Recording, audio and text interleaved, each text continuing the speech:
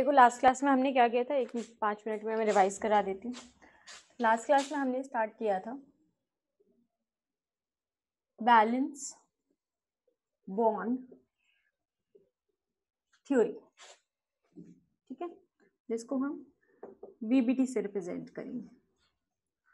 अब balance bond theory क्या कह रहा था? कि एनर्जी के टर्म्स में हमें बता रहा था कि बॉन्डिंग कैसे होगी। तो हमने ये देखा था एग्ज़ाम्पल लिया था किसका? हाइड्रोजन मॉलिक्यूल का।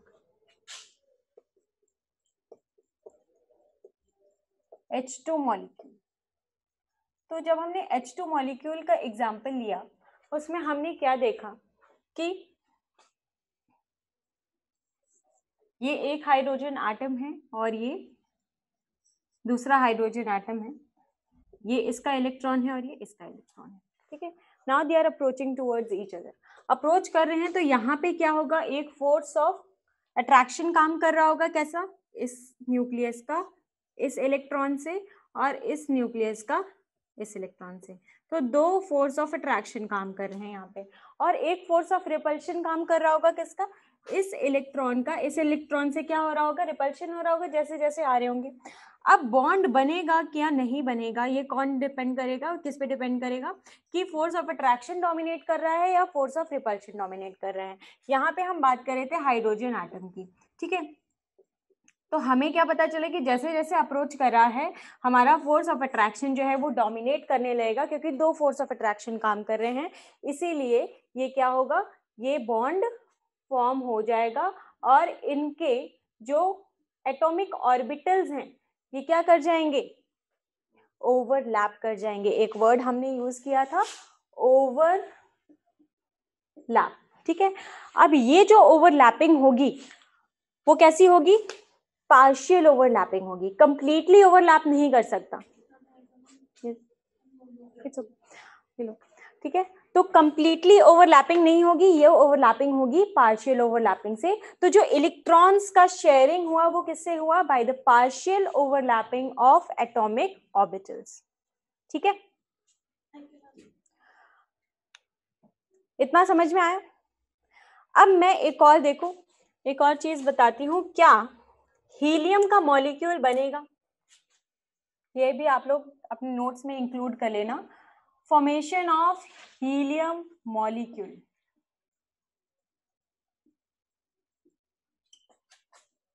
Helium molecule अब देखो हीलियम मॉलिक्यूल की बात करें मतलब मुझे एच टू बनाना है, मान लो। तो मेरे को ये देखना है कि एच टू बनेगा कि नहीं बनेगा और बनेगा तो क्यों बनेगा और नहीं बनेगा तो क्यों नहीं बनेगा? क्योंकि यहाँ पे हमने क्या देखा था कि जब हमने पोटेंशियल एनर्जी और इंटर न्यूक्लियर डिस्टेंस में हमने ग्राफ ड्रॉ किया था तो हमने ये देखा था कि जैसे जैसे इंटर न्यूक्लियर डिस्टेंस कम हो रहा था पोटेंशियल एनर्जी डिक्रीज हो रही थी और एक पॉइंट पर क्या हो रही थी? मिनिमम हो जा रही थी और उसी पॉइंट पे आपका बॉन्ड फॉर्म हो रहा था। ठीक है? ये तो थी इसकी बात जब बॉन्ड फॉर्म होगा। जब बॉन्ड नहीं फॉर्म होगा फॉर एग्ज़ाम्पल एच टू में क्या हो रहा है? देखो, न्यूक्लियस में दो पॉजिटिव चार्ज है, ठीक है? और यहाँ पे दो इलेक्ट्रॉन्स है, हैं? यहाँ पे दूसरा एच ई एटम आएगा, उसके पास भी न्यूक्लियस में दो पॉजिटिव चार्ज है, और यहाँ पे दो इलेक्ट्रॉन्स ये केस है, ये एक एच ई एटम है, वो दूसरा एच ई एटम है। अब देखो हो क्या रहा है। इसका इलेक्ट्रॉन इसको रिपेल करेगा, ठीक है? तो पहला रिपल्शन इसका इलेक्ट्रॉन इसको रिपेल करेगा, ठीक है? दूसरा रिपल्शन इसका एटम इसका न्यूक्लियस इसको रिपेल करेगा, ठीक है? तो ये क्या हो जाएगा आपका, तीसरा रिपल्शन इन दोनों का इलेक्ट्रॉन आपस में भी तो रिपेल करेगा। चौथा रिपल्शन इन दोनों का इलेक्ट्रॉन आपस में रिपल्शन करेगा, पांचवा रिपल्शन टोटल रिपल्सिव फोर्सेस कितने हो गए? पाँच हो गए. अट्रैक्टिव फोर्स गिनते हैं. अट्रैक्टिव फोर्स क्या हो जाएगा? ये न्यूक्लियस इसको अट्रैक्ट करे और ये न्यूक्लियस इसको अट्रैक्ट करे. दो. तीसरा, ये न्यूक्लियस इसको अट्रैक्ट करे और ये न्यूक्लियस इसको अट्रैक्ट करें। तो टोटल फोर्स ऑफ़ अट्रैक्शन कितना हो गया?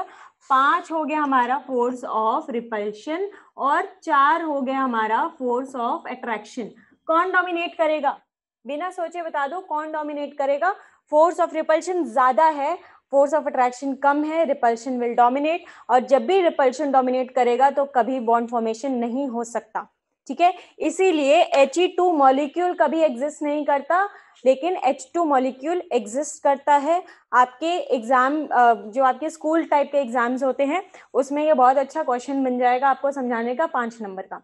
ठीक है? अब इसमें हम कैसे ड्रॉ करेंगे ग्राफ ये हमारा पोटेंशियल एनर्जी और ये हो रहा था हमारा रेडियस अब इसमें क्या हो रहा था? जैसे जैसे रेडियस कम कर रहे हैं, अब ये तो कम हो ही नहीं रहा है बढ़ते ही जा रहा है। समझ में आई मेरी बात? कि formation of H two molecule and formation of H E molecule क्या पॉसिबल है, क्या नहीं पॉसिबल है डिपेंड करेगा कौन सा फोर्स ऑफ़ अट्रैक्शन या फोर्स ऑफ़ रिपल्शन डोमिनेट कर रहा है और आपकी ओवरऑल एनर्जी क्या हो रही है इंक्रीज हो रही है डिक्रीज हो रही है। तो इन टर्म्स ऑफ़ एनर्जी ठीक है? क्लियर है? अब हमने एक और चीज़ देखी थी कि डिफरेंस बिटवीन लास्ट क्लास में हमने एक और चीज़ देखी थी कि क्या मुझे बता सकते हो? Bond strength of H two F two and H F में किसमें ज़्यादा होगा? इंक्रीजिंग ऑर्डर में बताओ। बॉन्ड स्ट्रेंथ मैंने क्या बोला था? बॉन्ड स्ट्रेंथ डिपेंड करेगा एक्सटेंट ऑफ़ ओवरलैपिंग में। कौन कितना ज़्यादा ओवरलैपिंग कर रहा है? उस पर डिपेंड करेगा हमारा बॉन्ड स्ट्रेंथ। और इसका रीजन हमने क्या दिया था देखो, इसका हमने रीजन दिया था कि जो एस सबशेल होता है, वो क्या होता है? नॉन डायरेक्शनल होता है। नॉन डायरेक्शनल होने की वजह से ये क्या होगा? पूरा एरिया नहीं देगा किसको? बॉन्डिंग को। जबकि देखा जाए, अगर पी को देखा जाए तो पी क्या है? डिफ्यूज है। डी को देखा जाए तो डी और भी ज़्यादा डिफ्यूज है। तो जो जितना ज़्यादा डिफ्यूज होगा, वो उतना ही ज़्यादा एरिया प्रोवाइड करेगा किसके लिए? बॉन्डिंग के लिए। ठीक है? इसीलिए बॉन्ड स्ट्रेंथ हमारा, अगर हम एस एस अगर देखें, two S two S two S two P और टू पी टू पी में। तो बॉन्ड स्ट्रेंथ किसका ज़्यादा होगा? सबसे ज़्यादा? टू पी टू पी का। फिर two S two P and this तो इसीलिए एच एफ़ में देखा जाए तो एच के पास एस और एफ़ के पास आउटरमोस्ट में किसमें होता है? बॉन्डिंग पी में। इसमें पी और पी दोनों का पी और इसमें एस और एस का। ठीक?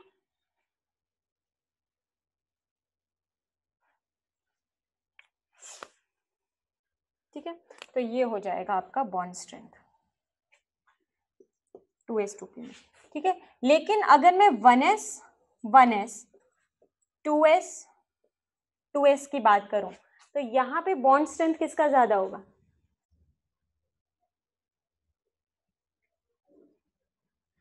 जो न्यूक्लियस के जितने पास होगा, उसका इलेक्ट्रॉन डेंसिटी उतना ही ज़्यादा होगा।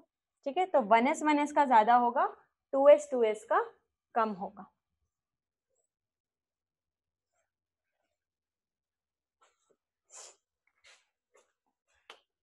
क्लियर है ये पॉइंट सबको? कि कौन कितना बॉन्ड में एक्सटेंट शो कर रहा है, वो उसका बॉन्ड स्ट्रेंथ उतना ही ज़्यादा होगा। एक्सटेंट ऑफ़ ओवरलैपिंग का क्या मतलब है? जो जितना ज़्यादा डिफ्यूज होगा, वो उतना ज़्यादा हमें एरिया प्रोवाइड करेगा बॉन्ड उतना ही स्ट्रांग बनेगा। अब हमने देखा था टाइप ऑफ़ बॉन्डिंग मैंने थोड़ा आइडिया दिया था आप लोग को type of bonding type of bond type of covalent bond कितने तरह के हो सकते हैं कोवलेंट बॉन्ड्स तो बेसिकली हमने ये देखा था कि जो बॉन्ड हो सकते हैं कोवलेंट बॉन्ड वो दो तरह के हो सकते हैं। एक तो सिग्मा बेटा type of covalent bond polar non polar तो वो तो ठीक है depending based on the overlapping ठीक है? Type of bond type of covalent bond based on overlapping कितने तरह के हो सकते हैं? तो लिखो types of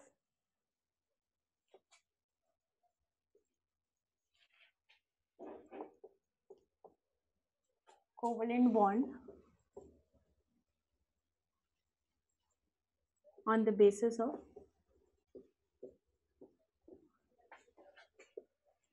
overlap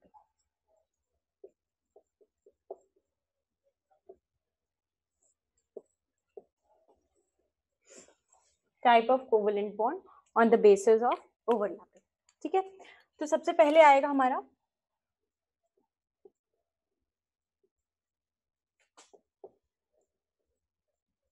sigma bond. ठीक है?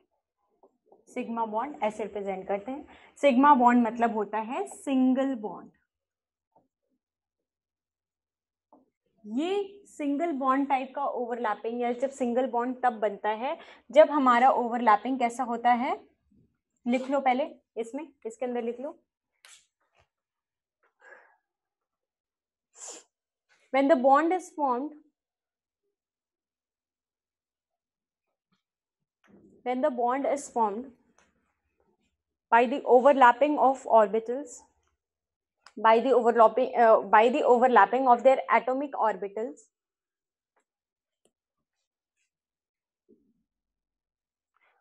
along the internuclear along the internuclear या फिर हम बोल सकते हैं intermolecular along the internuclear or intermolecular axis is known as sigma bond, ठीक है? ब्रैकेट में लिखेंगे, इसमें ओवरलैपिंग कैसी होती है? Head on overlapping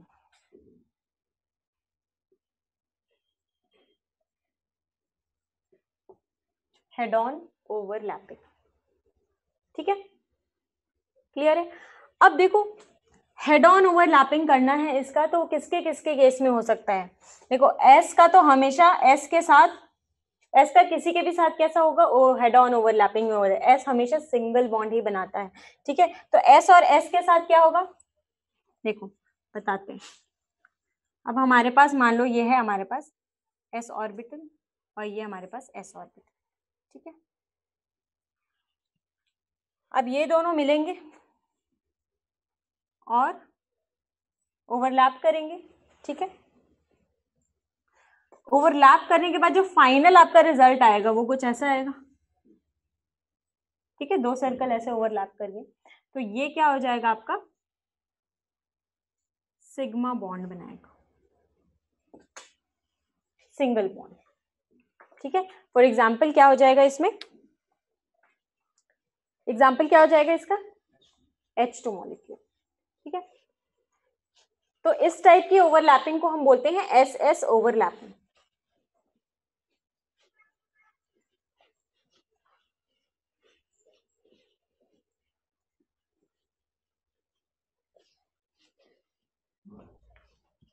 ठीक है? So this type of overlapping is known as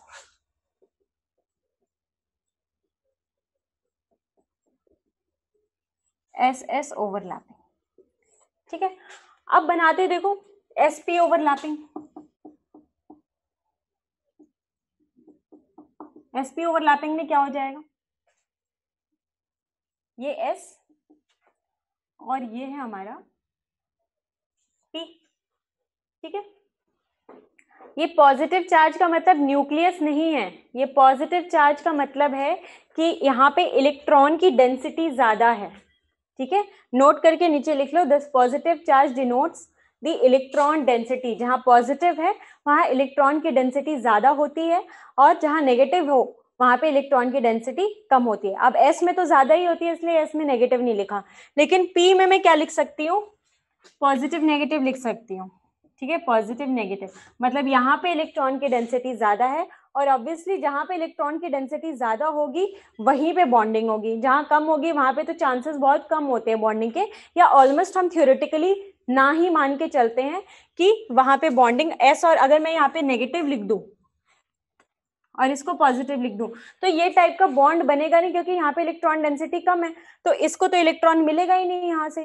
ठीक है तो हमेशा क्या होता है, हम यहाँ पे इस टाइप ऑफ़ ओवरलैपिंग को हम पॉजिटिव ओवरलैपिंग बोलते हैं। तो सिर्फ़ पॉजिटिव ओवरलैपिंग ही पॉसिबल हो सकती है मतलब पॉजिटिव पॉजिटिव मिल गए मतलब जहाँ भी इलेक्ट्रॉन की डेंसिटी इधर भी ज़्यादा थी, इधर भी ज़्यादा थी, दोनों मिल गए तो पॉजिटिव ओवरलैपिंग होगी। अगर यहाँ इलेक्ट्रॉन की डेंसिटी ज़्यादा थी और यहाँ इलेक्ट्रॉन की डेंसिटी कम थी, अब ये मिलेंगे तो ओवरलैपिंग नहीं होगा, क्योंकि इसको इलेक्ट्रॉन सफिशियंट नहीं मिलेगा इससे, क्योंकि इधर इलेक्ट्रॉन की डेंसिटी कम है। तो इस टाइप के ओवरलैपिंग को हम नेगेटिव ओवरलैपिंग बोलते हैं, आगे पढ़ेंगे। ठीक है? तो positive negative is showing the what electron density ठीक है? अब यहाँ पे एसपी ओवरलैपिंग में क्या होगा? ये दोनों मिले मिले और ओवरलैपिंग होगी कुछ इस तरह से। ठीक है? तो फाइनली क्या होगा? अब यहाँ पे देखो इसके पास आ गया एक और तो ये कुछ ऐसे बन जाएगा, क्योंकि यहाँ पे क्या होगी? ओवरलैपिंग हो गई है तो इसलिए ये वाला लोब क्या हो जाएगा? बड़ा हो जाएगा। पहले क्या थे? बराबर थे दोनों। अब यहाँ पे एस वाला ऑर्बिटल भी आ गया है, इसलिए ये बड़ा हो जाएगा। ठीक? अब आते हैं पीपी ओवरलैपिंग में। अब पीपी ओवरलैपिंग में हमें क्या बनाना है? सिग्मा बॉन्ड बनाना है मतलब सिंगल बॉन्ड ही बनाना है, ठीक है? और पीपी ओवरलैपिंग कैसे हो सकता है? P X P X P Y P Y और पी जेड पी जेड ठीक है? तो आप मुझे बताओ कि P X P X S P overlapping समझ में आ गया था? अब पीपी ओवरलैपिंग में देखो क्या होगा।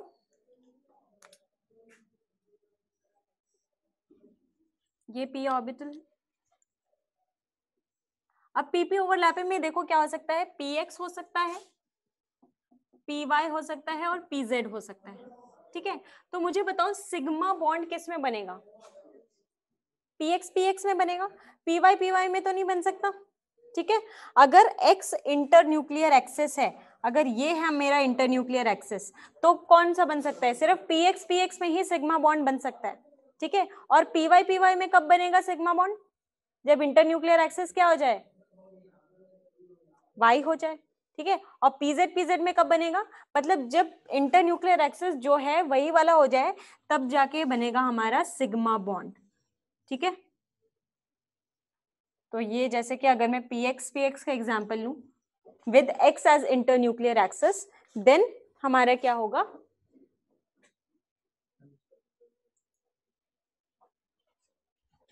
फिर हमारा क्या हो जाएगा?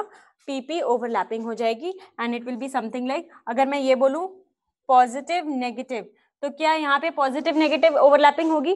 नहीं, उसके लिए यहाँ पे क्या होना चाहिए? यहाँ नेगेटिव होना चाहिए, इधर पॉजिटिव फिर पॉजिटिव नेगेटिव यहाँ पे हो गया हमारा पॉजिटिव ओवरलैपिंग और यहाँ पे ओवरलैपिंग के बाद जो शेप बनेगा ऑर्बिटल का, वो कैसा बन जाएगा? देखो, बीच में क्या हो गया हमारा? ओवरलैपिंग हो गया? समथिंग लाइक दिस ऐसे हो गया ना? अब इसका जो शेप बनेगा, देखो, बीच में बड़ा बनेगा और साइड साइड में छोटा छोटा लोब बनेगा, जैसे कि हमारा टॉफी का रैपर होता है ना, वैसा।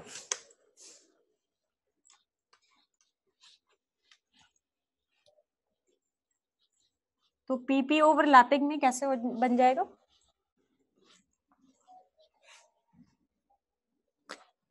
फाइनली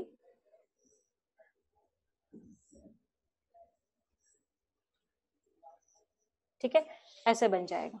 ठीक है? नेगेटिव नेगेटिव और ये बन जाएगा पॉजिटिव ये हो गया हमारा पीपी ओवरलैपिंग और ऐसे बनेगा हमारा क्या? सिग्मा बॉन्ड अब बताओ पाई बॉन्ड कैसे फॉर्म होगा?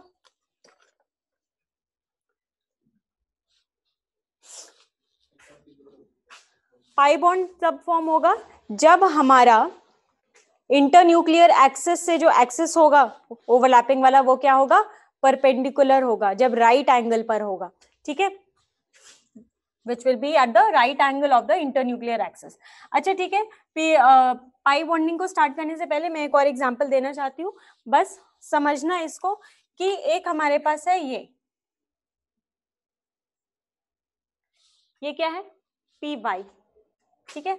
और इंटर न्यूक्लियर एक्सेस है हमारा एक्स बनाओ नहीं, अभी इसको हम देखेंगे this is our p y ठीक है? और ये हमारा एस क्या यहाँ पे ओवरलैपिंग होगा? एक्स के अलोंग ओवरलैपिंग होगा? नहीं, ठीक है? तो यहाँ पे कोई ओवरलैपिंग नहीं होगा मतलब यहाँ पे कोई बॉन्ड का फॉर्मेशन नहीं होगा। और कहा नहीं होगा बॉन्ड का फॉर्मेशन मान लो this is your p y और ये है हमारा पीजेड ठीक है? ये है हमारा इंटर न्यूक्लियर एक्सेस एक्स के अलोंग क्या बॉन्ड फॉर्म होगा? तो यहाँ पे क्या होगा? यहाँ पे इन दोनों केस में कोई ओवरलैपिंग नहीं होगी और कोई बॉन्ड फॉर्म नहीं होगा। तो बॉन्ड कहाँ कहाँ नहीं फॉर्म हो रहा था? एक तो नेगेटिव ओवरलैपिंग में, जहाँ पॉजिटिव नेगेटिव एक साथ मिल रहे थे, वहाँ पे कोई बॉन्ड फॉर्मेशन नहीं हो रहा था। और एक इस वाले केस में बॉन्ड फॉर्मेशन नहीं होगा। जब आपको पता है कि इंटर न्यूक्लियर एक्सेस पे कुछ है ही नहीं, यहाँ पे तो इलेक्ट्रॉन ही नहीं है यहाँ पे, इधर भी इलेक्ट्रॉन ज़ीरो है तो वहाँ पे तो बॉन्ड बन ही नहीं सकता मतलब ओवरलैपिंग होगी ही नहीं। ठीक है? अब आते हैं पाई बॉन्ड पे। तो पाई बॉन्ड का डेफिनेशन लिख लो। Pi bond is formed when pi bond is formed when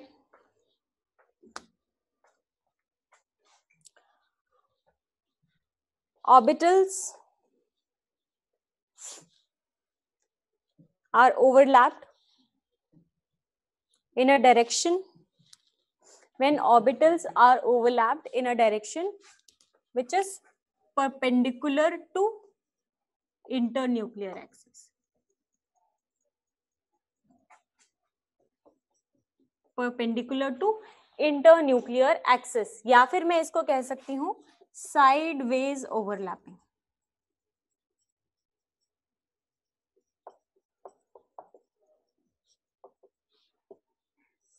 sideways overlapping जब भी होगी परपेंडिकुलर टू इंटरन्यूक्लियर एक्सेस होगा तो हमारा क्या बनेगा? पाई बॉन्ड बनेगा। ठीक है? अब जैसे कि मैं बोलूँ कि पी एक पी वाई पी वाई है हमारे पास, और हमारा इंटर न्यूक्लियर एक्सेस क्या है? एक्स तो यहाँ पे क्या होगा? ये दोनों मिलेंगे। ठीक है? पॉजिटिव ओवरलैपिंग होगी। ठीक है? और कैसे हो जाएगा ये?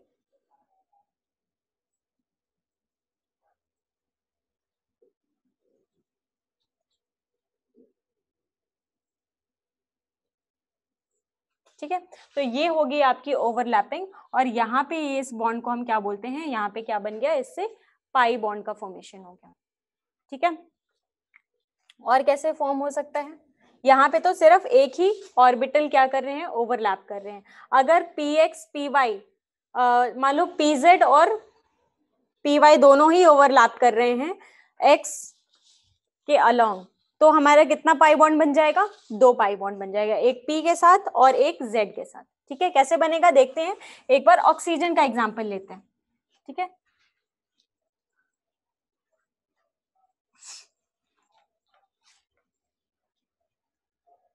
Let's take an example of O two molecule अब इसके लिए देखो, इसीलिए मैंने बोला था कि आपको इलेक्ट्रॉनिक कंफिग्रेशन लिखना आना चाहिए। ओटो का इलेक्ट्रॉनिक कंफिग्रेशन ऑक्सीजन का लिखे आटम का तो क्या हो जाएगा? One s two two s two two p four. ठीक है? ओ एट होता है ना? ठीक है? अब देखो, इसमें तो बॉन्डिंग होगी नहीं फुल्ली फिल्ड है, इसमें बॉन्डिंग नहीं हुई बॉन्डिंग इसमें होगी? इसमें होगी, क्योंकि ये फुल्ली फिल्ड नहीं है। तो कुछ ऐसा है ये?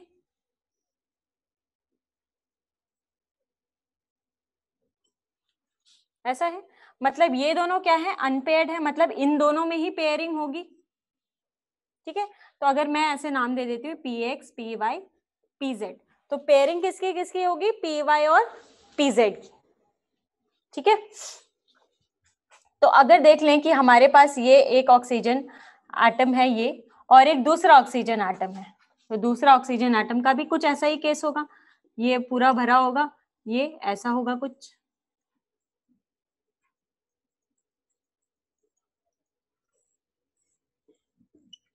ठीक है? तो ये हो गया p x p y p z अब इनका हम कैसे दिखाएँगे? ऑर्बिटल डायग्राम कैसे दिखाएँगे? तो ये देखो। ये है मान लो मेरा जेड डायरेक्शन और ये है मेरा वाई डायरेक्शन ठीक है? अब इन्हीं का ये एक ऑक्सीजन मॉलिक्यूल एटम है।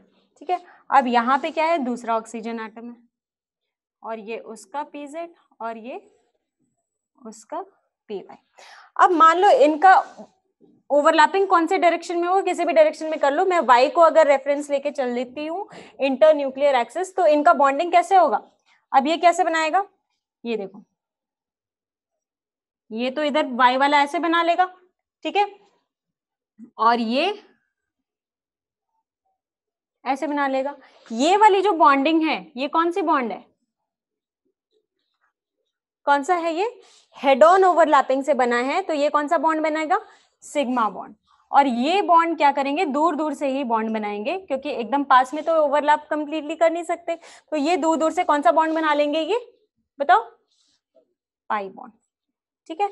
तो इसीलिए ऑक्सीजन मॉलिक्यूल में क्या होता है? ओ ओ तो ये वाला जो होता है, वो सिग्मा बॉन्ड होता है, एक सिग्मा बॉन्ड होता है, और एक हमारा क्या बन गया? पाई बॉन्ड बन गया ठीक नाइट्रोजन N2 मॉलिक्यूल का बना के दिखाओ। N2 मॉलिक्यूल का एक बार बना के दिखाओ सिमिलरली ऐसे ही। हाँ इसमें तीनों ओवरलैप करेंगे, इसीलिए इसमें एक सिग्मा बॉन्ड बनेगा और दो पाई बॉन्ड बनेंगे। कैसे? देखो, इसका हम लिखते हैं इलेक्ट्रॉनिक कन्फिग्रेशन क्या हो जाएगा? One s two two s two two p three ठीक है? मतलब पी एक्स भी खाली पी वाई भी, एक खाली और पी जेड भी खाली तो दोनों का हमारा एक एन एटम ये हो गया, जिसमें टू पी थ्री और दूसरा एन एटम हमारा यहाँ हो जाएगा। जिसमें भी टू पी थ्री अब ये ओवरलैप कर जाएँगे और हमारा कितना बॉन्ड बन जाएगा? सबके साथ एक एक बॉन्ड बनेगा। ऑर्बिटल डायग्राम कैसे हो जाएगा? अब ये हमारा p x p y p z यहाँ पे भी p x p y p z तो बना लेते हैं इसको।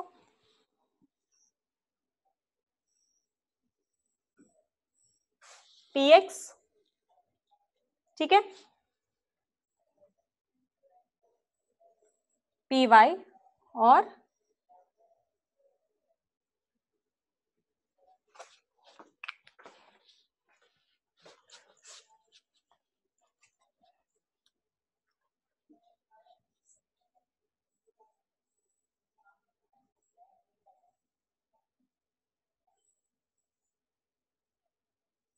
ठीक है, ये बन गया। ये क्या है हमारा? पी एक्स पी जेड और पी वाई ठीक है। अब ये दूसरे से मिलेगा।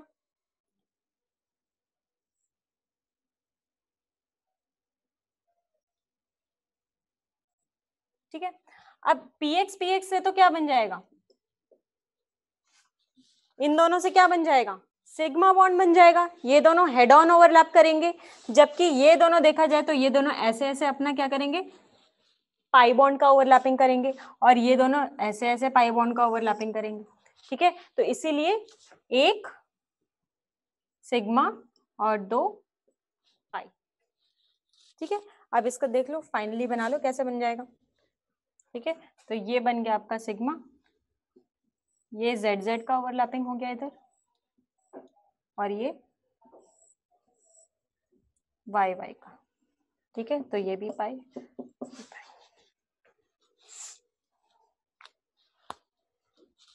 समझ में आ रही है बातें?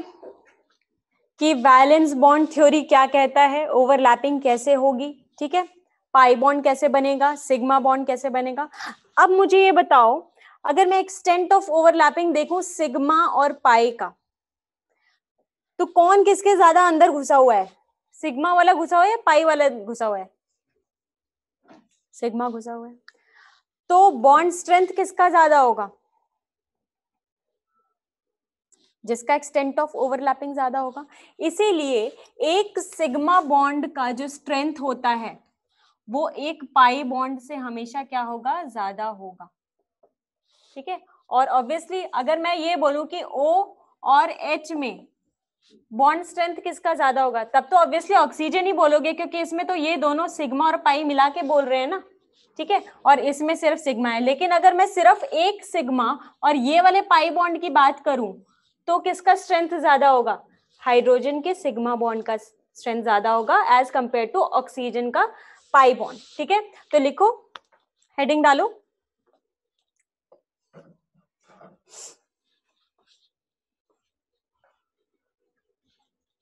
bond strength.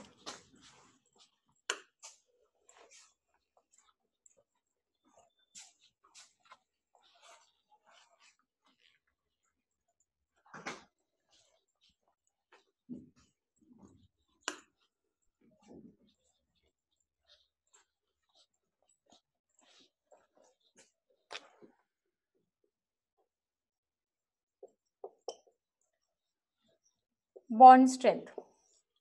इसमें लिखो since strength of bond depends on extent of overlapping depends on extent of overlapping. Therefore,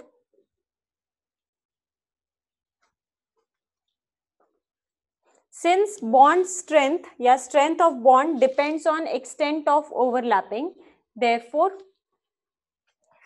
sigma bond is stronger than pi bond.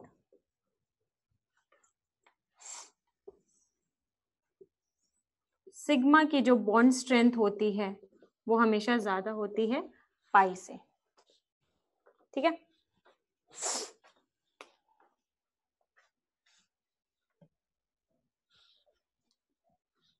तो बॉन्ड स्ट्रेंथ समझ में आ गया? अब हम आते हैं अपनी नई थ्योरी पे। इस पे मैं कुछ क्वेश्चंस दूँ क्या? अभी तो कुछ क्वेश्चन बन नहीं रहा इस पे। हाँ ये लिख लो types of overlapping following overlappings are not allowed. Types of overlapping not allowed. बता तो दिया था मैंने, एक बार लिख लो।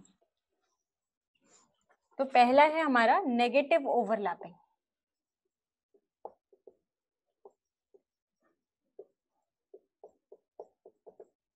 negative overlapping allowed नहीं होती। मतलब थ्योरेटिकली हम इसको ओवरलैपिंग कराते ही नहीं है। मतलब कुछ हो गया ऐसे।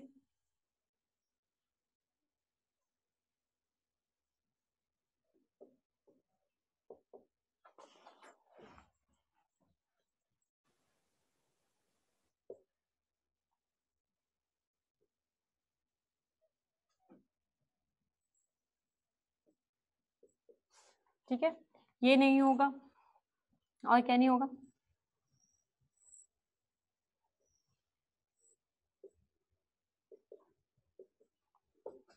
ये नहीं होगा। और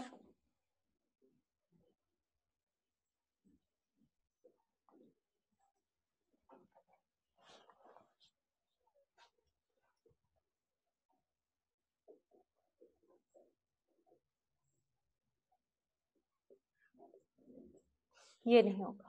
ठीक है? So these all are negative type of overlapping जो कि नहीं होंगी। इनके अलावा जिसमें हमने देखा था, जिसमें हमारा नोड आ जा रहा था और नोड किसमें आ रहा था? एक तो एस और हमने उसमें देख लिया था कि अगर ऐसा कुछ हो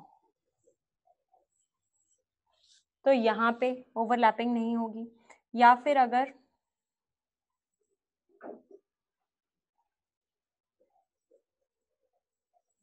ऐसा कुछ हो। देखो, एक ऐसा आ गया और एक पी वाई आ गया और एक पी जेड आ गया अलोंग दी एक्स एक्सेस तो यहाँ पे भी आपकी ओवरलैपिंग नहीं होगी। और कैसे ओवरलैपिंग नहीं अलाउड होती है? क्योंकि देखो ओवरलैपिंग जितनी हो रही है, वो किस बेसिस पे हो रही है? इंटर न्यूक्लियर हमारा एक्सेस कौन सा है? तो कभी भी ओवरलैपिंग ऐसे नहीं होगी। कि आपने एक ऐसे कर दिया और एक ऐसे कर दिया। न्यूक्लियस तो कहीं इसका इधर, उसका उधर, ठीक है? तो हमेशा तो फोर्स ऑफ़ अट्रैक्शन जो होना चाहिए, जो न्यूक्लियस होना चाहिए, उसके अलोंग होना चाहिए इंटर न्यूक्लियर एक्सिस के अलोंग तो ऐसा भी नहीं अलाउड है ठीक है?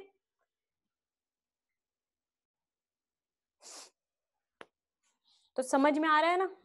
क्या अलाउड है, क्या नहीं अलाउड है? तो आपका वैलेंस बॉन्ड थ्योरी आपका कंप्लीट हो चुका है, ठीक है? अब हम स्टार्ट करते हैं वेस्पर थ्योरी ठीक है? वेस्पर थ्योरी लिखो valence shell electron pair repulsion theory आपका होमवर्क ये है कि वेस्पर थ्योरी किसने दिया था? उसको मॉडिफाई किसने किया था? और वेबिटी का थ्योरी किसने दिया था? और उसको उसका ड्रॉबैक क्या था? ये करना, ठीक है? तो वेस्पर थ्योरी होता है valence shell electron pair repulsion theory V S E P R VSEPR theory अब ये ऐसा थ्योरी था जिससे हमें जो भी हमारा मॉलिक्यूल बन रहा था उसके स्ट्रक्चर के बारे में भी पता लग रहा था हमें। ठीक है? जबकि लुइस कॉन्सेप्ट का जो ड्रॉबैक था लुइस कॉन्सेप्ट का ड्रॉबैक क्या था? कि होमे क्या बता रहा था? स्ट्रक्चर नहीं बता रहा था तो इसमें लिख लो आगे।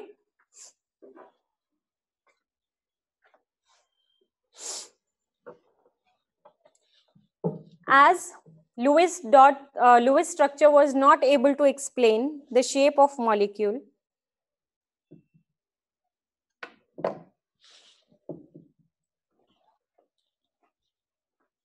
as Lewis concept the Lewis structure was not able to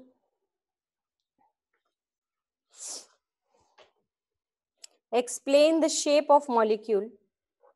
Vesper theory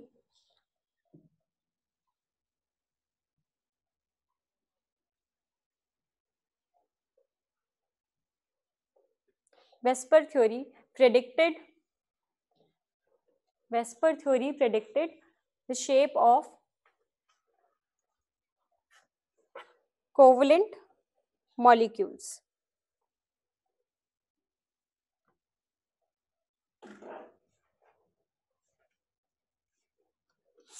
ठीक है? अब देखो वेस्पर थ्योरी क्या बोलते हैं? जैसे हमारा वीबीटी के कुछ मेन पॉइंट्स थे, वैसे वेस्पर के भी मेन पॉइंट्स होंगे। देखो main points of VSEPR theory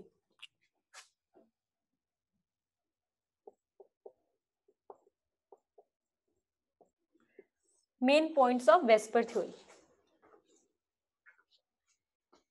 VBT fail क्यों हो गया? वो मैं वेस्पर थ्योरी बताने के बाद बताऊँगी। स्टार्ट करते हैं। लास्ट क्लास में एक बार क्या हमने अभी तक पढ़ा है, हम रिवाइज कर लेते हैं। हम देख रहे थे केमिकल बॉन्डिंग चैप्टर ठीक है? और केमिकल बॉन्डिंग में हमने देखा था बॉन्ड क्यू फॉर्म होते हैं। और बॉन्ड क्यू फॉर्म होते हैं, इससे रिलेटेड अलग अलग साइंटिस्ट ने अपनी अपनी थ्योरी सबसे पहले आए थे लुइस ठीक है? उन्होंने लुइस कॉन्सेप्ट दिया है लुइस थ्योरी दी उसको लुइस लैंगमुयर कॉन्सेप्ट भी कहते हैं। लैंगमुयर एक और साइंटिस्ट थे, जिनके साथ ये मिलकर इन्होंने ये कॉन्सेप्ट दिया था। ठीक है? उसमें क्या किया था? सिंपली लुइस डॉट स्ट्रक्चर बनाया था और दिखा दिया था कि कॉर्नर एटम्स और सेंट्रल एटम का ऑक्टेट कंप्लीट हो चुका है और ये स्टेबल हो चुके हैं। ठीक है? फिर हमने देखा था कि लुइस कॉन्सेप्ट के कुछ लिमिटेशंस थे, क्योंकि कई बार ऐसा हो रहा था कि क्या हो रहा था? कि एलिमेंट्स जो थे, वो कंपाउंड बना रहे थे, लेकिन वो क्या हो रहे थे? ऑक्टेट कंप्लीट नहीं हो रहा था। या तो कम हो रहा था हाइपोवैलेंट या तो ज़्यादा हो जा रहा था हाइपरवैलेंट या फिर और नंबर ऑफ़ इलेक्ट्रॉन्स क्या कर रहे थे? बॉन्डिंग बना रहे थे, ठीक है? तो इसलिए क्या हो गया वो? फेल हो गया।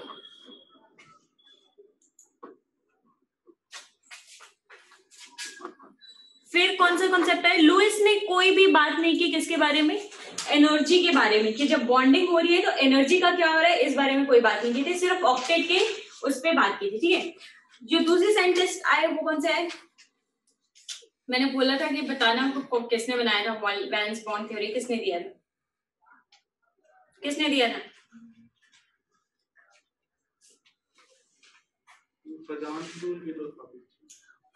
वो तो हमने देखा था ना कि आयनिक कैरेक्टर क्या होता है कोवलेंट कैरेक्टर क्या होता है, हम कोवलेंट बॉन्डिंग की बात करें ठीक है? तो ये अब पता करना, अभी तक किसी ने पता नहीं किया है कि किसने दिया था valence bond theory second theory आई थी बैलेंस बॉन्ड थ्योरी उसने हमारे को बॉन्डिंग समझाया था किस बेसिस पे? एनर्जी के बेसिस पे। कैसे? कि जब दो एटम्स एक दूसरे को अप्रोच करेंगे तो उनके बीच में एनर्जी क्या होगी? कम होगी और एनर्जी एक टाइम पे क्या हो जाएगी? मिनिमम हो जाएगी और उसी टाइम पे क्या हो जाएगा? हमारा बॉन्ड फॉर्मेशन हो जाएगा। और जितनी डिस्टेंस हो जाएगी उसकी, वही हो जाएगा उसका बॉन्ड स्ट्रेंथ बॉन्ड लेंथ और जो एनर्जी होगी उसके करस्पॉन्डिंग हो जाएगा हमारा बॉन्ड एनर्जी ठीक है? तो अब बीबीटी ने एक और बात बोली थी कि ओवरलैपिंग होती है। किसकी ओवरलैपिंग होती है? ऑर्बिटल्स की। ऑर्बिटल्स की ओवरलैपिंग होती है और depending upon extent of overlapping कौन कितना ज़्यादा ओवरलैप कर रहा है उसकी बॉन्ड स्ट्रेंथ उतनी ही ज़्यादा ठीक है? अब हमने एक्सटेंट ऑफ़ ओवरलैपिंग का हमने ये देखा था कि जो डायरेक्शनल होगा, क्योंकि हमारे ऑर्बिटल्स कैसे होते हैं? S p d and f ठीक है? Subshells s p d and f होते हैं, ठीक है? और ऑर्बिटल्स होते हैं उसके करस्पॉन्डिंग एस में एक ऑर्बिटल होता है पी में तीन ऑर्बिटल होते हैं डी में पाँच एंड एफ़ में सेवन ठीक है? तो उन्होंने क्या बोला था? पॉलिंग ने किया था। ठीक है? अब क्या इसने बोला कि एक्सटेंट ऑफ़ ओवरलैपिंग किसका ज़्यादा होगा? जो जितना ज़्यादा डिफ्यूज स्ट्रक्चर होगा, उसकी बॉन्डिंग उतनी ही ज़्यादा हो उसका एक्सटेंट ऑफ़ ओवरलैपिंग उतना ही ज़्यादा होगा। तो एस तो बिल्कुल भी डिफ्यूज नहीं होता है एस तो क्या होता है? कंसेंट्रेटेड होता है, ठीक है? तो उसकी एक्सटेंट ऑफ़ ओवरलैपिंग सबसे कम। तो एस एस में एक्सटेंट ऑफ़ ओवरलैपिंग सबसे कम, फिर एस पी फिर पी पी ठीक है? और एस एस में हमने एक और चीज़ देखा था, अगर वन एस वन एस की बात कर रहे हैं और ये सब टू टू है। तो भी क्या होगा, इस केस में वन एस वन एस का क्या हो जाएगा ओवरलैपिंग सबसे ज़्यादा हो जाएगी। क्योंकि वन एस वन एस में क्या हो रहा है कि जो हमारा इलेक्ट्रॉन है, वो न्यूक्लियस के सबसे पास में ठीक है? अब यहाँ पे देखो न्यूक्लियस के सबसे पास में इलेक्ट्रॉन के मिलने की प्रोबेबिलिटी क्या होती है? सबसे ज़्यादा होती है। तो वन एस वन एस क्या करेगा? इन दोनों के पास क्या होगा? प्रोबेबिलिटी होगी बहुत ज़्यादा इलेक्ट्रॉन के पाने, पाए जाने की। तो इसलिए ये जो बॉन्ड बनाएँगे, ये हमेशा क्या होगा? Stronger than any other bond ठीक है? तो वन एस वन एस की बात छोड़ दो, क्योंकि वो क्या होता है? न्यूक्लियस के सबसे पास होता है। लेकिन अगर मैं टू एस टू एस की बात करूँ तो टू एस टू एस का हमेशा क्या होगा? एक्सटेंट ऑफ़ ओवरलैपिंग कम होगा as compare to two p two p as compare to two s two p ठीक है? समझ में आ गई? तो वीबीटी ने हमें बताया था ओवरलैपिंग के बेसिस पे कैसे बनता है। और हमने वीबीटी में ये भी देखा था कि हाइड्रोजन मॉलिक्यूल कैसे बनता है। ठीक है? फोर्स ऑफ़ अट्रैक्शन क्या कर जाता है? डोमिनेट कर जाता है। फोर्स ऑफ़ रिपल्शन क्या करता है? नीचे रह जाता है और इसलिए बॉन्ड बन जाता है। ठीक है? क्योंकि एक दूसरे का इलेक्ट्रॉन एक दूसरे को तो रिपेल करेगा। लेकिन एक का न्यूक्लियस और दूसरे का इलेक्ट्रॉन क्या करेगा? अट्रैक्ट करेगा। ठीक है? तो इस तरह से बॉन्डिंग बन जाती थी। हमने ये भी देखा था कि हीलियम एटम क्यों नहीं हीलियम मॉलिक्यूल बनाता? क्यों नहीं बनाता है? क्योंकि वहाँ पे रिपल्शन जो होता है एक दूसरे का इलेक्ट्रॉन से तो रिपल्शन हो ही रहा है। और एक दूसरे के न्यूक्लियस से हो रहा है। अब हीलियम में दो इलेक्ट्रॉन्स होते हैं। अब वो दोनों इलेक्ट्रॉन्स आपस में भी तो रिपेल करेंगे। तो क्या हो जा रहा है? फोर्स ऑफ़ रिपल्शन डोमिनेटिंग हो जा रहा है। और जब रिपल्शन डोमिनेट हो जाएगा तो कभी भी बॉन्ड फॉर्मेशन नहीं होगा, क्योंकि रिपल्शन डोमिनेट होने से क्या मतलब है? कि एनर्जी बढ़ गई और हमें क्या करनी है एनर्जी मिनिमाइज करनी है फॉर द बॉन्ड फॉर्मेशन ठीक है? इसीलिए हीलियम का कभी भी मॉलिक्यूल नहीं होता। हाइड्रोजन का मॉलिक्यूल होता है। फिर हमने देखा था हाइड्रोजन हाइड्रोजन बॉन्डिंग मतलब हाइड्रोजन हाइड्रोजन में जो बॉन्ड होती है। और हमने देखा था हाइड्रोजन और क्लोरीन में बॉन्डिंग और हमने देखा था फ्लोरीन में बॉन्डिंग अब इसमें हमने देखा था कि किसकी एक्सटेंट ऑफ़ ओवरलैपिंग सबसे ज़्यादा होगी? तो हाइड्रोजन हाइड्रोजन में तो क्या हो रहा था बताओ? ये वाला case one s one s ठीक है? और इसमें? क्लोरीन में? वन एस थ्री पी ठीक है? और फ्लोरीन में? टू पी टू बताओ, किसकी बॉन्डिंग सबसे ज़्यादा होगी? एच एच एच एच का होगा, क्योंकि वन एस वन एस आ गया ना। ठीक है? अगर मैं कोई और बोलती जिसमें टू एस टू एस होता, तब क्या हो जाता? टू पी टू पी वाला हो जाता। ठीक है? आगे बात समझ रहे ये तो था अब तक की कहानी, अब तक जो हमने क्लास में पढ़ा है, वो। अब देखो बैलेंस बॉन्ड थ्योरी जो था, वो हमें कोई भी बात नहीं बता रहा था शेप के बारे में कि मॉलिक्यूल जो भी बनेगा, उसका शेप कैसा होगा। ठीक है, हमने शेप के बारे में बात नहीं की, हमने ओवरलैपिंग की बात कर ली, हमने एनर्जी की बात कर ली, लेकिन हमने शेप की बात नहीं की। तो अब जो थ्योरी आएगा, जिसको हम कहेंगे valence shell electron repulsion theory ठीक है वेस्पर थ्योरी तो वो पहला थ्योरी था केमिकल बॉन्डिंग के कंसेप्ट में, जिसने हमें बताया था कि शेप ऑफ़ द मॉलिक्यूल कैसा होगा, ठीक है? तो देखते हैं।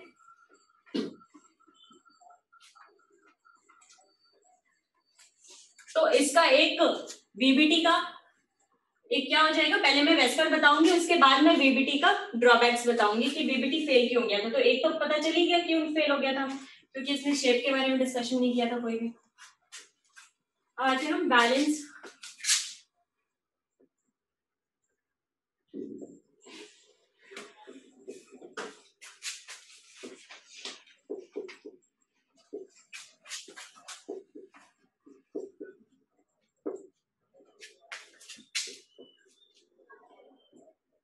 ठीक है?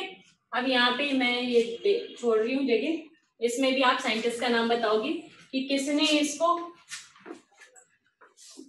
पॉइंट किया था, ये थ्योरी किसने कौन लेकर आया था एग्जिस्टेंस में? और इसको मॉडिफाई भी किया गया था, ठीक है? एक बार ये थ्योरी आई थी, फिर दस पंद्रह साल बाद इसको मॉडिफाई किया था एक साइंटिस्ट ने। तो दोनों साइंटिस्ट का नाम बताना है आपको, ठीक है? क्योंकि नीट में अक्सर आ जाते हैं साइंटिस्ट वाइंटिस्ट का नाम। ओके? तो valence electron pair repulsion theory बहुत बड़ा नाम है। इससे क्या मतलब है कि सिंपल सी बात है कि जब एटम्स एक दूसरे को अप्रोच कर रहे हैं। जब एलिमेंट्स एक दूसरे को अप्रोच कर रहे हैं तो उनके बीच की एनर्जी क्या हो रही है? कम हो रही है। ठीक है।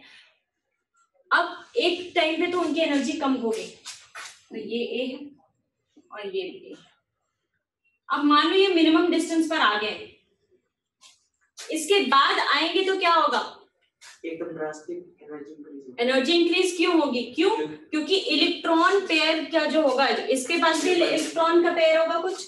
इसके पास भी इलेक्ट्रॉन होगा। तो इलेक्ट्रॉन के पेयर के बीच में क्या होने लगेगा इन दोनों के बीच में? क्यों बढ़ेगी? रिपल्शन होने लगेगी। क्योंकि इन दोनों के जो इलेक्ट्रॉन पेयर होंगे वो एक दूसरे को क्या करेंगे? रिपेल करने लगेंगे। और वो रिपेल करके फिर से स्टेबलाइज देखो ऐसे आए। ये मान लो दो एटम्स है। ठीक है? ये क्लोज आए। ठीक है? अब मिनिमम डिस्टेंस हो गया इनके बीच में। अब हमने क्या किया? इनको और क्लोज लेकर आने लगे। अभी क्या करने लगे? एक दूसरे को रिपेल करने लगे। और ये दोबारा फिर उसी पोजीशन पे सेट हो गए जहाँ पे इनकी एनर्जी क्या हो रही थी? मिनिमाइज हो रही थी। क्योंकि यहीं पर क्या हो रहा है? बॉन्ड फॉर्मेशन हो रहा है। तो इससे ज़्यादा क्लोज लेकर आओगे तो इलेक्ट्रॉन पेयर का क्या होने लगेगा?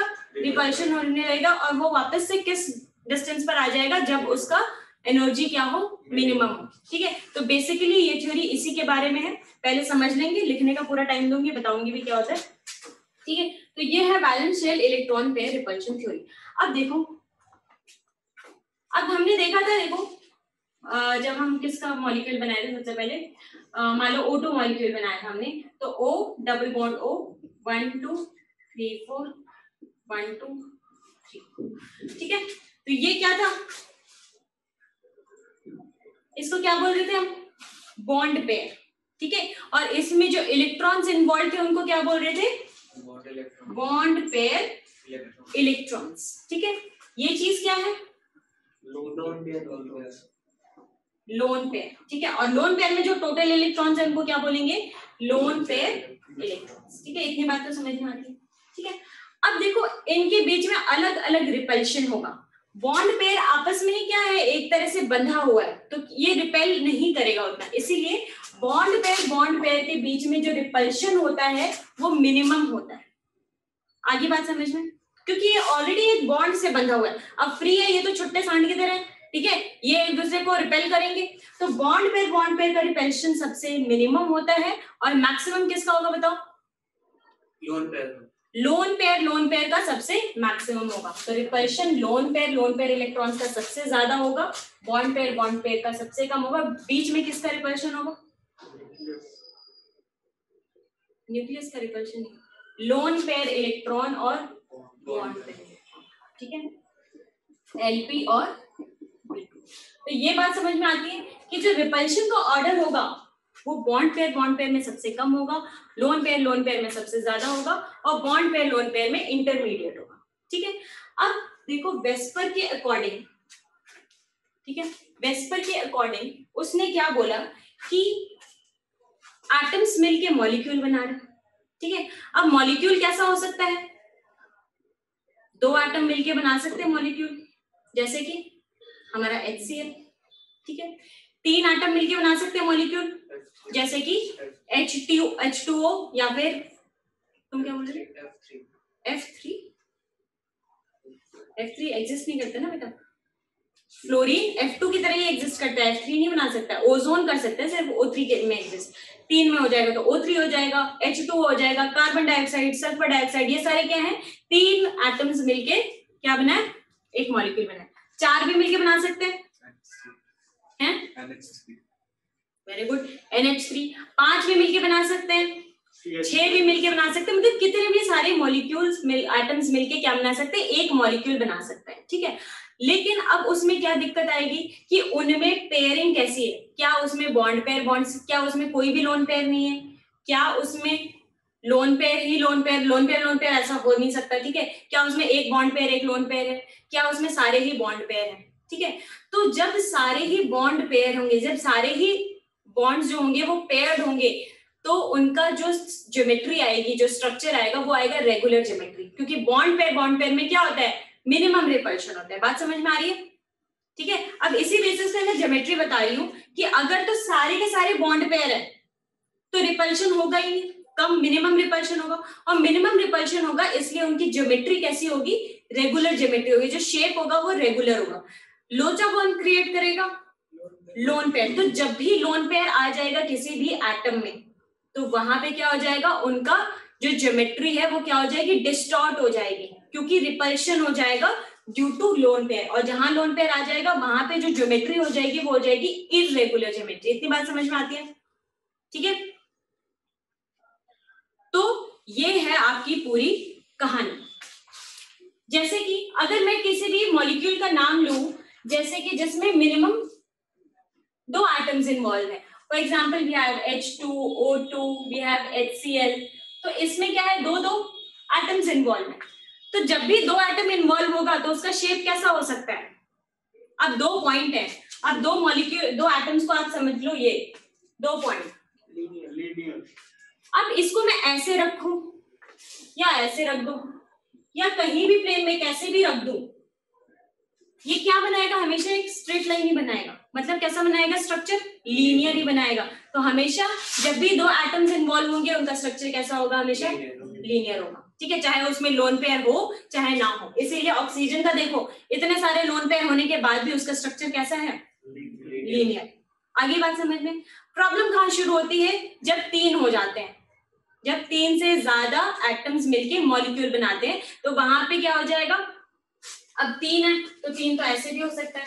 अभी मैं सबका बताऊँगी, बस एक ओवरव्यू दे रही हूँ। अब तीन है तो मान लो ये ए है। तो बी बी ऐसे भी जुड़ सकता है, ठीक है? अब इनके बीच में एक लोन पेयर भी हो सकता है। हो सकता है इनके बीच में एक भी लोन पेयर ना हो, ठीक है? या फिर ऐसे भी हो सकता है।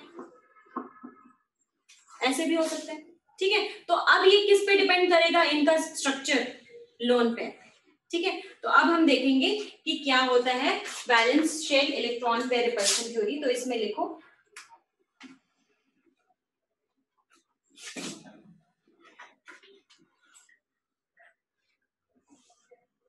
Lewis concept and Lewis concept and VBT was unable to explain the shape of molecule.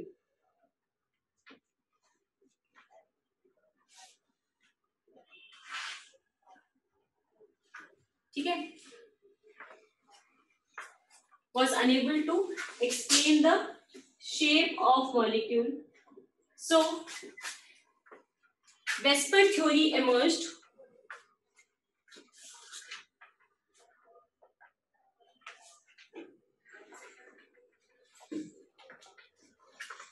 Proposed by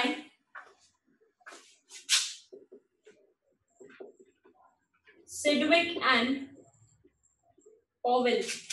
दो साइंटिस्ट का नाम था सिडविक एंड पॉवल ठीक है? ये 1940s में हुआ था, ठीक है? और उसके 10 साल मतलब 15 साल बाद मतलब 1957 के अराउंड गिलिस्पी एक साइंटिस्ट का नाम था, जिन्होंने इसको मॉडिफाई किया था। नॉट इंपॉर्टेंट बट फिर भी सिडविक एंड पॉवल का तो नाम लो।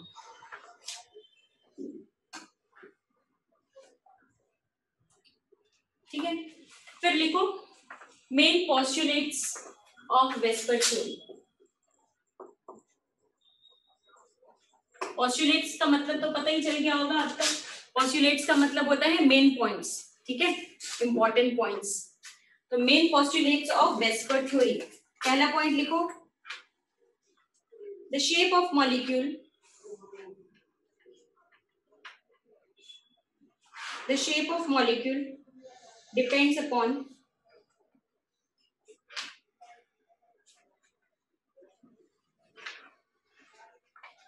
the number of bond pair and lone pair. Shape of molecule depends upon number of bond pair and lone pair.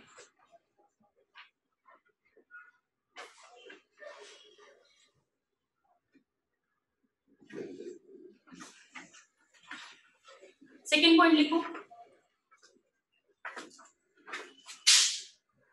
The pair of electrons present in the valence shell the pair of electrons present in the valence shell repel each other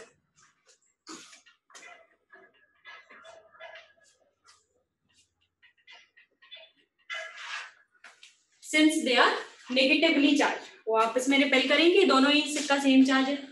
the pair of electron present in the valence shell repels each other since they are negatively charged.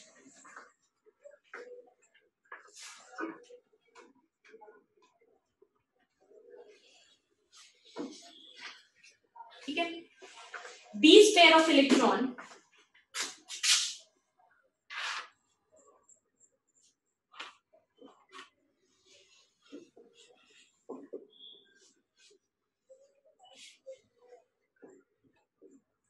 these pair of electron occupies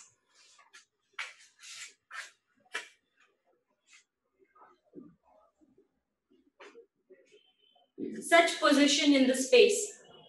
These pair of electrons occupies such position in the space so as to minimize its energy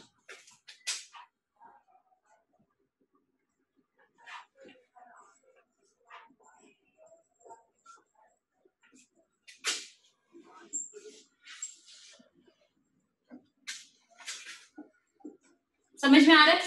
क्या बोल रही हूँ? ठीक है? पहले क्या हुआ कि बॉन्ड पेयर और लोन पेयर डिपेंड डिसाइड करेगा कि हमारा जो भी मॉलिक्यूल है उसका शेप कौन सा है। ठीक है? ये आपको पता चल गया इसका। ठीक है? अब जो होते हैं, अब हर सेंट्रल एटम का क्या होगा? बैलेंस इलेक्ट्रॉन होगा। और बैलेंस इलेक्ट्रॉन में क्या होगा? रिपल्शन होगा, क्योंकि सबका चार्ज कैसा है? नेगेटिवली चार्ज है। रिपल्शन करेंगे। अब वो रिपेल करके तो वो संतुष्ट हो नहीं सकते, क्योंकि उनको अपनी एनर्जी मिनिमाइज करनी है। तो वो क्या करेंगे? ऐसा पूरे थ्री डायमेंशन स्पेस में ऐसा स्पेस ऑक्यूपाई करेंगे, ऐसी जगह पे जाएँगे, जहाँ पे उनकी एनर्जी क्या हो रही हो? मिनिमम हो ठीक है? नेक्स्ट पॉइंट लिखो fourth point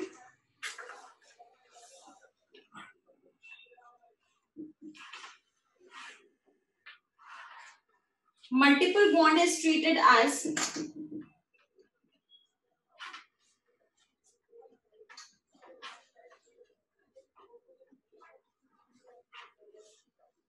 multiple bond is treated as bonding electrons.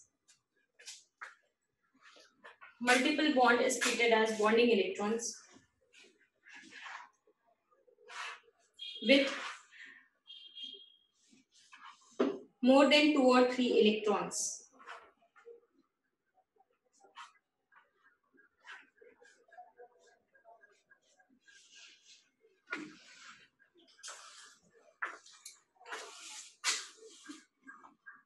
Fifth point लिख लो ये वाला. Lone pair lone pair repulsion of the order repulsion order of the electrons अब हमें किसी भी मॉलिक्यूल का जो शेप है वो प्रिडिक्ट करना है. तो हमें उसका सबसे पहले क्या देखना पड़ेगा कि बॉन्ड पेयर कितने हो रहे हैं और लोन पेयर कितने हो रहे हैं?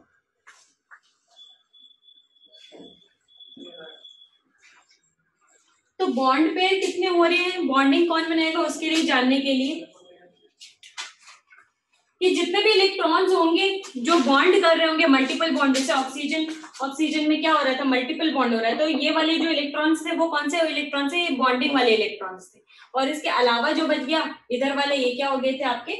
लोन पेयर वाले इलेक्ट्रॉन्स हो गए। ये फोर्थ पॉइंट का मतलब ठीक? जैसे कि मान लो, दो का तो करने की ज़रूरत है नहीं, क्योंकि दो का तो शेप हमेशा लीनियर होगा। जैसे कि मैं मान लो बोलती हूँ beryllium chloride BeCl two BeCl two का मुझे क्या करना है? प्रेडिक्ट करना है स्ट्रक्चर ज्योमेट्री ठीक है? तो मैं क्या करूँगी? इसका हम निकालते हैं स्टेरिक नंबर स्टेरिक नंबर होता है कि बी को यहाँ रख दो बीच में.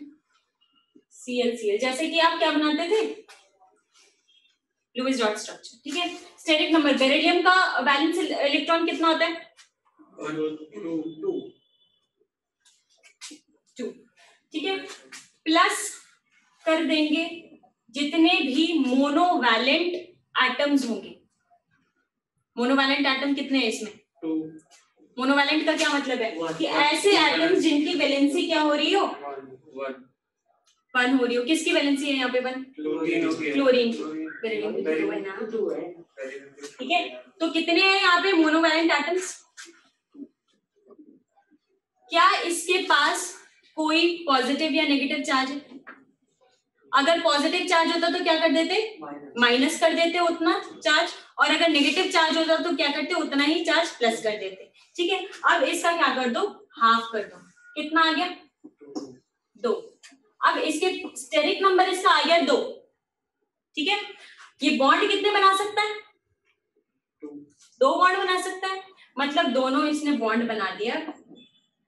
क्या इसके पास कोई लोन पेयर हुआ? नो नो अब कोई लोन पेयर नहीं है तो शेप कैसा रहेगा? लीनियर कोई डिस्टॉर्शन नहीं होगी ज्योमेट्री के पास तो है। है?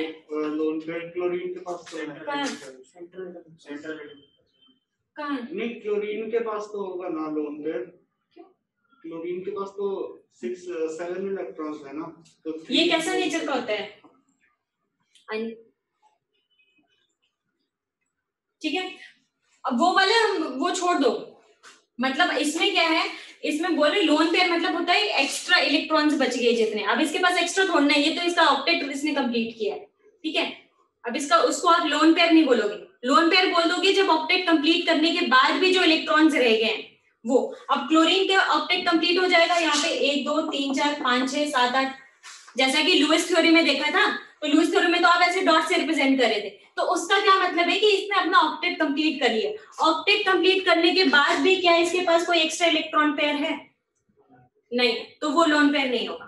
ठीक है? ये इसका क्या हो जाएगा? ऑक्टेट कंप्लीट हो गया। इसके पास कोई लोन पेयर है तो ज़ीरो लोन पेयर है। लोन पेयर हमें यही पता चलने लगेगा कि जितना, अगर मान लो ये एक होता और ये दो होता तो एक तो बॉन्डिंग बना ली इसने और एक क्या हो जाता? है सॉरी ये अगर तीन होता और ये दो होता तो स्टेरिक नंबर तीन आ रहा है और बॉन्ड कितने बना लिए इसने?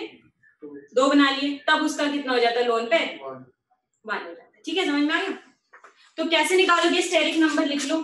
स्टेरिक नंबर निकालेंगे हाफ़ बैलेंस इलेक्ट्रॉन ठीक है? प्लस कोई भी मोनोवैलेंट जितने भी मोनोवैलेंट उसके पास एटम्स होंगे minus if any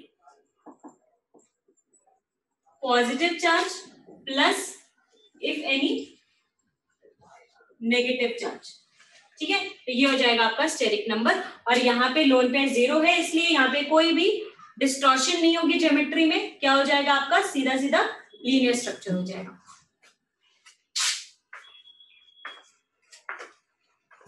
पहले मैं आपको रेगुलर स्ट्रक्चर के तीन चार एग्जांपल दे देती हूँ, फिर उसके बाद हम देखेंगे। फिर अब बनाते हैं हम बी एफ़ थ्री एक बार बी एफ़ थ्री का सेम बना के देखो। Boron trifluoride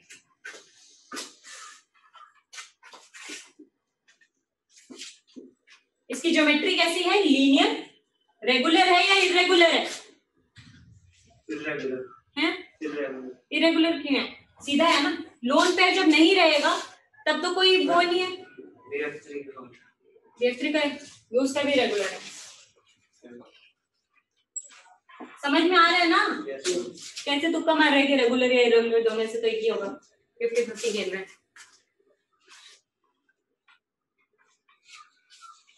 P F three steric number निकालते? हाँ। बोरॉन का कितना होता है? आउटर मोल बैलेंस इलेक्ट्रॉन कितना हो गया? तीन। मोनोवैलेंट एटम्स कितने हैं उससे जुड़े? छह बाई दो। बॉन्ड कितने बनाएगा ये मैक्सिमम बी एफ़ थ्री है। मैक्सिमम बॉन्ड कितने बना सकते हैं? तीन ही बना सकता है। तो क्या इसके पास लोन पेयर हुआ? बॉन्ड पेयर कितने हो गए? तीन। लोन पेयर कितना हो गया? ज़ीरो जब भी लोन पेयर ज़ीरो होगा स्ट्रक्चर कैसा होगा? ज्योमेट्री लीनियर लीनियर और कैसा होगा वो? अब तीन है यार। तीन है तो कैसा हो सकता है? ट्राइंगुलर हो सकता है। ठीक है? तो ये हो जाएगा B F F F no lone pair और इस शेप का नाम है हमारा, क्या हो जाएगा ये? ट्राइंगुलर प्लेनर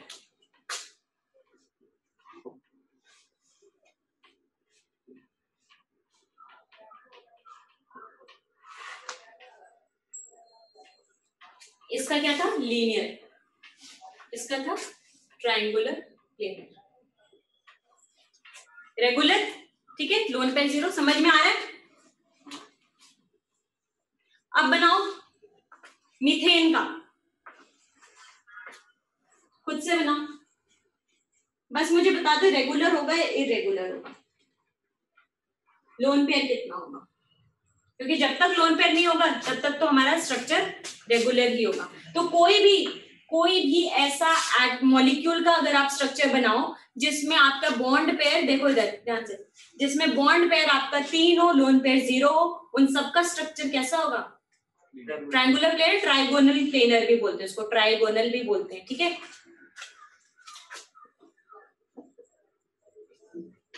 ठीक है? कोई भी ऐसा मॉलिक्यूल हो जिसमें बॉन्ड पेयर दो हो और लोन पेयर ज़ीरो हो, उसका स्ट्रक्चर हमेशा कैसा होगा? लीनियर ठीक है? अब वैसे ही आते हैं।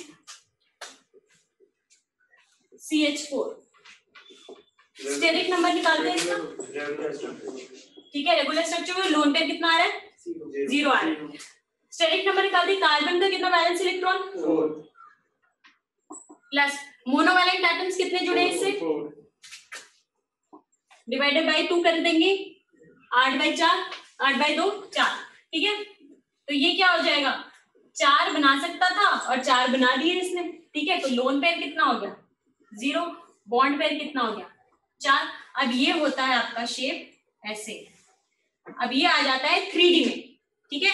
अब ये होगा three D H H H H इसको बोलते हैं हम टेट्राहेड्रल टेट्राहेड्रल ये तो एक प्लेन में था, वो भी एक प्लेन में था. यहाँ पर किसमें आ गया? स्ट्रक्चर आपका थ्री डायमेंशन में. देखा है ना कि कार्बन जो डायमंड होता है डायमंड का स्ट्रक्चर कैसा होता है? ऐसे है एक कार्बन कितने कार्बन से जुड़ा रहता है? टेंथ क्लास में पढ़ा होगा। Each carbon is joint with is link is bonded with हाँ फोर अदर कार्बन ठीक है विद कोवलेंट बॉन्ड ठीक है? तो इसीलिए इतना थ्री डायमेंशनल उसका थ्री डी कॉम्प्लेक्स स्ट्रक्चर होता है और इसीलिए diamond is the hardest element okay तो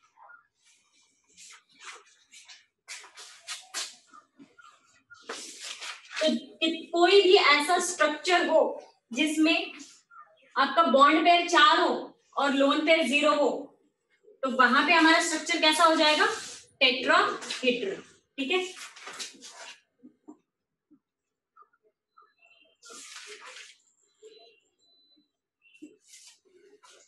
फोर्थ बनाओ एग्ज़ाम्पल देख लो पीसीएल फाइव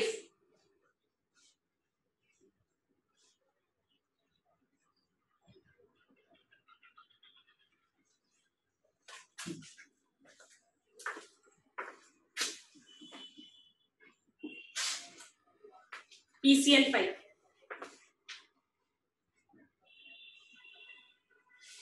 अगर मोनोवैलेंट एटम नहीं है जैसे कि SO2 है तो SO2 में मोनोवैलेंट एटम तो S से जुड़ा नहीं है तो हम सिर्फ़ सल्फ़र का लेंगे। हाफ़ इंटू सल्फ़र का वैलेंस इलेक्ट्रॉन कितना? छह होता है ठीक है? छह होता है ठीक है? तीन हो जाएगा उसका स्टेरिक नंबर तो वहाँ पे देखो अब तीन हो गया स्टेरिक नंबर बॉन्ड कितने बना सकता है SO2 में? दो। एक ओ इधर एक ओ इधर। दो बॉन्ड बनाए। लोन पेयर कितना हो गया? लोन पेयर हम किसकी बात करें? सेंट्रल एटम पे लोन पेयर की बात करें। ठीक है हम सेंट्रल एटम को ही रेफरेंस मान के चले। चलो इसका बताओ। अभी लोन पेयर वाला अभी डिस्कस करेंगे। पहले बिना लोन पेयर वाला कर देते स्टेरिक नंबर कितना आ रहा है? पाँच। ठीक है क्या हो गया ये? हाफ़ पाँच प्लस पाँच। पाँच। ठीक है? Lone pair zero bond pair पाँच। ओके तो ये स्ट्रक्चर होता है आपका ऐसा T C L C L C L C L C L तो C L C L C L C L C L ये स्ट्रक्चर होता है थोड़ा सा ऐसा। पिरामिड देखा? है कैसा होता है? ऊपर से? यहाँ पे देखो, अगर ये पी क्या है और ये C L C L C L क्या है, एक प्लेन में है। इसलिए मैंने ट्राइंगल बनाया। ठीक है? तो एक पिरामिड ऊपर बन रहा है और एक पिरामिड नीचे भी बन रहा है, ठीक है? एक ऊपर ऐसे बन रहा है सीएल और एक नीचे ऐसे सीएल बन रहा है। ठीक है ऐसे? इसको बोलते हैं हम trigonal bipyramidal TBP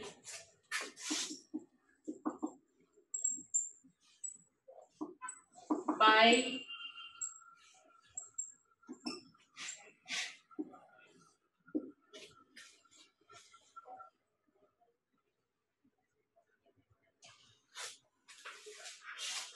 truck देखा है, ट्रक।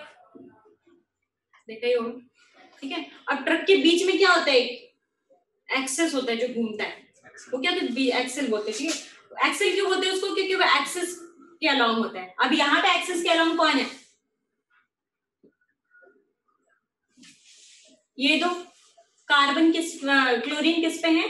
एक्सिस के अलोंग है। फॉस्फोरस के एक्सिस के अलोंग है। तो इसलिए ये जो पोजीशन होता है, इसको हम बोलते हैं एक्सियल पोजीशन ठीक है? ये वाला पोजीशन क्या हो जाएगा आपका? एक्सियल पोजीशन और ये जो ट्राइंगल बनता है ना, ये बनता है हमारा इक्विटोरियल ट्राइंगल इसलिए इसको हम क्या बोलते हैं? इक्विटोरियल पोजिशन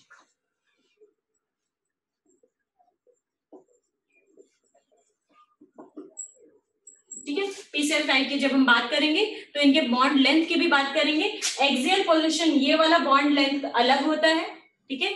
पिकोमीटर में हम बॉन्ड लेंथ को मेजर करते हैं और ये तीनों बॉन्ड लेंथ क्या होता है? सेम होता है और अलग होता है मतलब एक्सियल से अलग होता है। एक्सियल का बॉन्ड लेंथ और इक्विटोरियल का बॉन्ड लेंथ अलग अलग होता है। इक्विटोरियल में तो इक्विलेटरल ट्राइंगल बन रहा है, इसलिए तीनों का सेम ही होगा। ठीक है? पीसीएल फाइव समझ में आ गया? अब बना S F six sulphur hexafluoride regular बनेगा? क्यों? देखो स्टेरिक नंबर क्या आ जाएगा इसका? हाफ़ सल्फ़र का कितना होता है? आउटरमोस्ट में छह होते हैं, मोनो बैंड भी छह तो छह बाई बारह बाई दो, छह, लोन पे ज़ीरो, बॉन्ड पे छ ठीक है, अब इसका स्ट्रक्चर कैसा होता है? सल्फ़र को ऐसे कर दो, ठीक है? अब इसको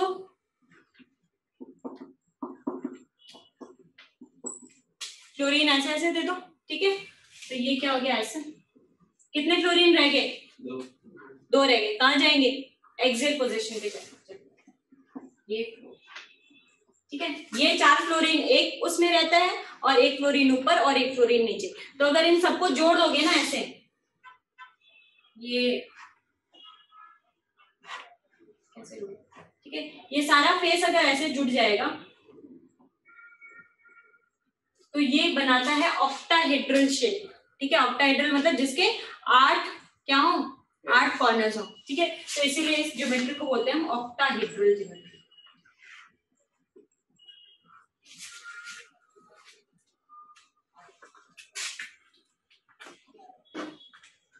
तो कितने शेप का नाम हमने देखा? एक तो हमने लीनियर देखा एक हमने देखा ट्रायंगुलर प्लेनर ठीक है? एक हमने देखा टेट्राहेड्रल एक हमने देखा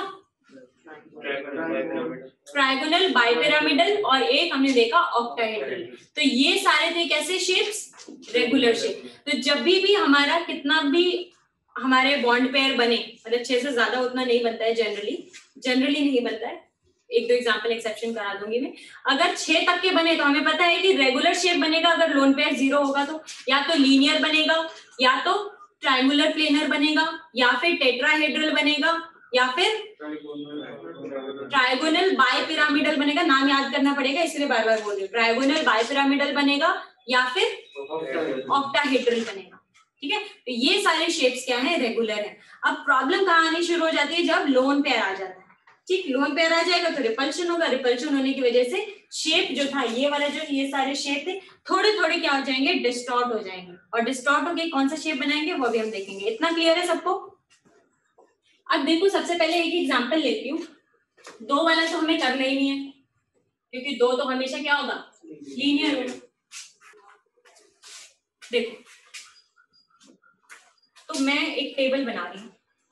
जैसे कि हो गया हमारा। यहाँ पे लिख दो इलेक्ट्रॉन पेयर इलेक्ट्रॉन पेयर ठीक है? पूरा ही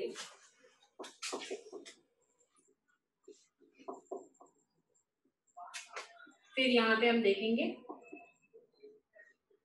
बॉन्ड पे, यहाँ पे देखेंगे। लोन पे और यहाँ पे हम देखेंगे उनका स्ट्रक्चर ठीक।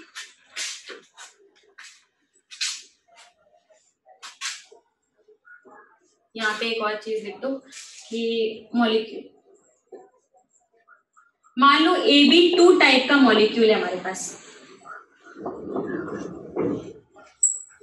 ए बी टू टाइप का मॉलिक्यूल है तो इलेक्ट्रॉन के पेयर कितने हो जाएँगे?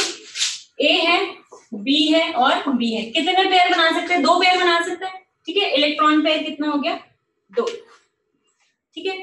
अब मान लो इसमें पहले तो हमने एक केस देखी लिया कि बॉन्ड पेयर दो हो और लोन पेयर ज़ीरो हो। ठीक है? तो स्ट्रक्चर कैसा बन जाएगा? ए बी टी और ये स्ट्रक्चर का नाम क्या है? यहाँ पे नेम लिख दो। नेम ऑफ़ द स्ट्रक्चर क्या हो जाएगा? Linear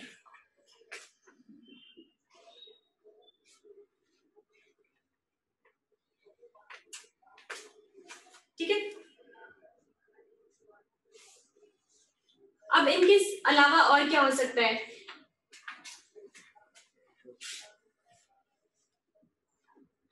A B two type का है।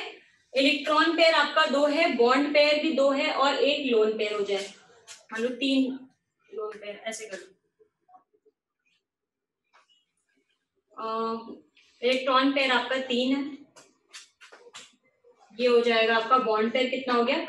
दो सॉरी पहले थ्री ज़ीरो का करते हैं तो थ्री ज़ीरो में क्या हो जाएगा?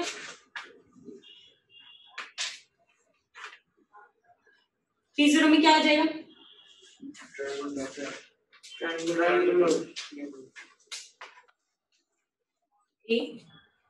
बी बी तुम लोग पूरा लिखना? ट्रायंगुलर प्लेन है। ठीक है? अब इसमें क्या हो सकता है कि दो बॉन्ड पेयर हो और एक लोन पेयर हो जाए। हो सकता है ना ऐसा? कि दो बॉन्ड पेयर हो जाए और एक लोन पेयर हो जाए। मतलब एक बी की जगह क्या हो जाए? लोन पेयर आ जाए। ठीक है यही तो कहने का मतलब है। तो यहाँ पे बन रहा था हमारा ए बी थ्री यहाँ पे क्या बन जाएगा? ए बी टू क्योंकि इसके जगह क्या आ गया? लोन पेयर आ गया। अब इसकी जगह मान लो लोन पेयर आ गया तो मैं यहाँ पे स्ट्रक्चर बना रही हूँ इसका। तुम लोग नीचे कंटिन्यू कर देना। तो बी बी और यहाँ पे क्या आ गया? लोन पेयर आ गया। शेप कैसा है इसका? इसको बोलते हैं बेंट शेप ठीक है लीनियर से क्या हो गया? बेंट हो गया। ठीक है, एक जगह लोन पेयर आ गया तो लीनियर से क्या शेप आ गया इसका? बेंट शेप क्या बोलते हैं इसको? वी शेप उल्टा एग्ज़ाम्पल क्या हो जाएगा इसका? एसओ टू इसका एग्ज़ाम्पल क्या था? बी एफ़ थ्री इसका एग्ज़ाम्पल क्या था? पहले वाले का एग्ज़ाम्पल क्या था? बीई ठीक है एसओ टू का अगर हम देखें तो देखो कितना हो जाएगा इसका? हाफ़ स्टेरिक नंबर लोन पे सॉरी बैलेंस इलेक्ट्रॉन कितना हो गया इसका? छ क्या कोई मोनोवैलेंट एटम जुड़ा हुआ है इससे? नहीं तो कुछ नहीं ऐड करेंगे प्लस ज़ीरो कितना हो गया? तीन हो गया। बॉन्ड पेयर इलेक्ट्रॉन्स कितने हैं इसके पास? और स्टेरिक नंबर कितना है? कितनी की कमी आ रही है? मतलब एक क्या बन रहा होगा? लोन पेयर बन रहा होगा। तो इसका स्ट्रक्चर इसीलिए कैसा हो जाता है? बैंक हो ठीक है? तो इसका स्ट्रक्चर कैसा हो जाएगा? बैंक हो जाएगा। ठीक है? इसके आगे का मैं नेक्स्ट क्लास में करूँगी। मेरी भी अभी क्लास है। आपकी भी क्लास होगी।